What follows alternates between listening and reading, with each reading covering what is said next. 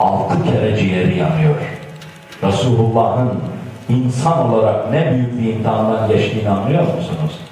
Yani Allah'ın peygamberi yan gelip yatsın, çok rahat etsin, her dediği olsun, her istediği yerine gelsin. Yok. Ne acılar tattırmış Allah. Hazreti Muhammed Mustafa'ya.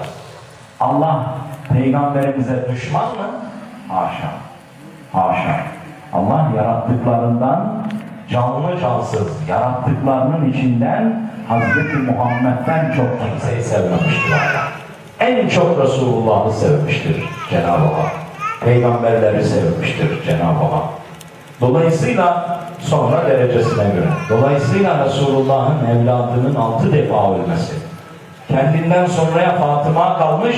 Fatıma 28 yaşında ölürken Hazreti Ali Efendimiz de 8 yıllık evliydi.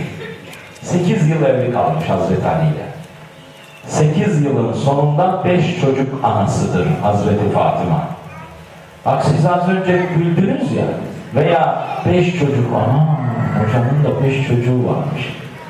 Dediniz ya içinizde kimileriniz. Ha, sizin o çok tuhaf bulduğunuz, çok güldüğünüz şey benim iki dünyada tek övünç kaynağı. Hazreti Fatıma'ya benim hayatımdan doğru dürüst sünnetlerle benzeyemedik. Resulullah'ın sünnetlerini yaşayan bir aile modeliyle onlara benzeyemedik. Ama Allah bize de Fatıma'ya verdiği kadar çocuk verdi. Ona da üç oğlanı peş peşe vermiş. Sonra iki kızı olmuş Fatıma'nın.